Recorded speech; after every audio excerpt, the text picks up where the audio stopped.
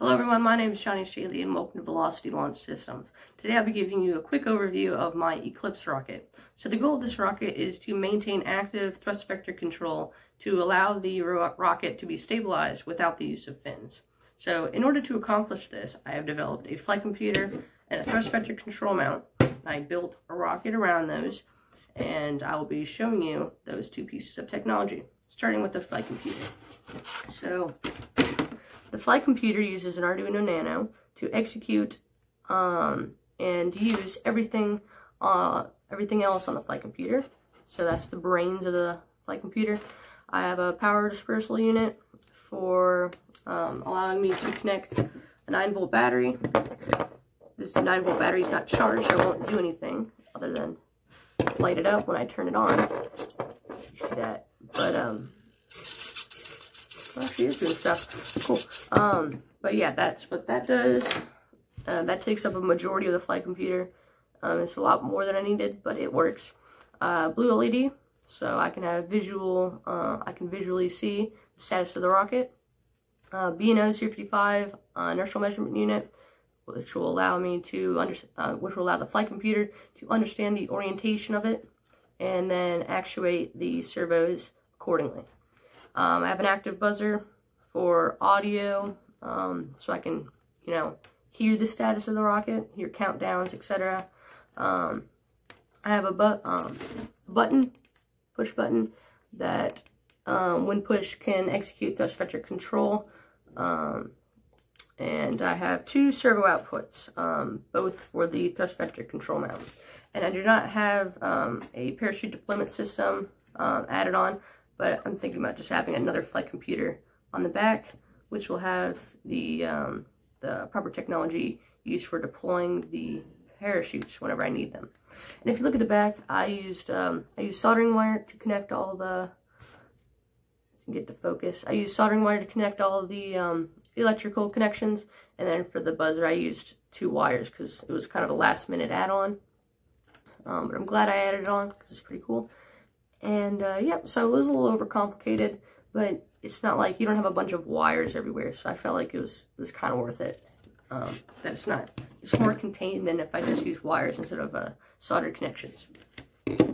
So now looking at the thrust vector control mount, um, right now I have it installed in the rocket, but later I'll take it out and I'll show you the mechanics of it. But you can see that it's um, attached through four um, screws and then there are two cutouts within the, the body tube, which allow the servos to actuate because when they move, they actually go outside the rocket. So they need two holes. Um, this one is a lot bigger than it needs to be. Um, but this is just like a test rocket. I have enough materials to build a second rocket, which will be more of a finalized rocket. But this one's just going to be for a static fire test and maybe a launch. I don't know. Um, the, the flight computer is missing a couple things that I would like to add on it, so I might just use it for test purposes. I don't know if that flight computer will ever fly, but we'll see in a couple months once I'm ready to, uh, once, once I'm ready to do a flight. So you can see um, the motor can move around like that, uh, and the two servos uh, move accordingly. So you can notice that when I plug this in, I have it hooked up to a computer because currently the 9 volt battery that I have isn't uh, doesn't have enough battery power left to support the two servos. Um, but when I plug it in to my computer, I already have some code that allow it to actuate 5 degrees in every direction. So this is just a this is a test to make sure that the thrust vector control mount is working and that the two servos are working together um, like when the x-axis and the y-axis move, they don't interfere with each other. So that's what this is for. And you can see that it works pretty well. And you can also see that when um, servos move, they do go outside of the rocket. So that's why those holes are there. And uh, yeah, two 9 gram servos. And the wires run through the center of the rocket. And uh, that's basically it for the thrust vector control mount. I will now remove it and I will give you a more in-depth look at it.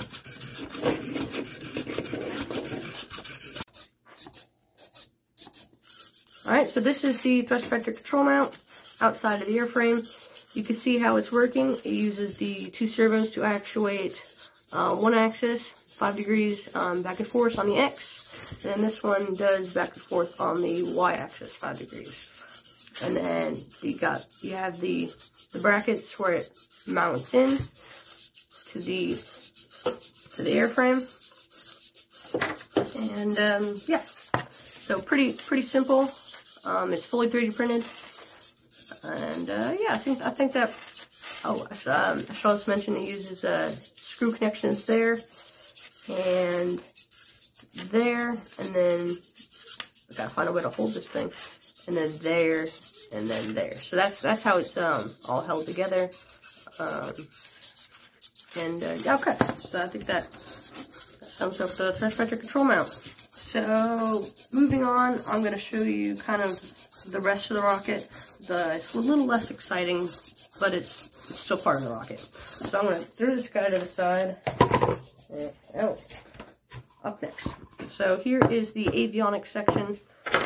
So what this is, is I put the flight computer inside the avionics, like so. And then I screw in the flight computer to the avionics in eight different spots, four in the top and four in the bottom. And then connected to the bottom of the avionics, I have the airframe, so now it looks like that. And then four connections there. And then at the top of the payload section, get it, here we go. And then four connections there for a total of rocket. And then at the top you have the uh, nose cone. So uh, that has some shock cord and parachute and it's fully 3D printed, some masking tape for a better fit, and uh, yeah, it's got a little area right there, a little socket where I can uh, tie in shock cord, and then I'll have a spot at the bottom which has two pyro charges that pressurized the payload section, and then it will pop the nose cone off, pull the parachute out, and it will, uh, it will, it will safely land. So big thing is being able to recover the rocket, which I have not accounted for on the flight computer, but I will. I will make sure I have that done. So thanks for watching. Hope you enjoyed this video. I'll keep you guys updated. Um, now that I have a lot of stuff actually done, I will be able to upload a video, I'd say at least every two weeks, um, just because I'm not, like, you know, I'm, I'm getting better at this. I'm being able to build things quicker. But the thing is, I just didn't have enough stuff built to the point where I could show you a video. And I still don't, but that allows for uh, future videos. Um, so uh, that concludes this video. I hope you enjoyed, and uh, thanks for watching. I'll see you guys later. Bye.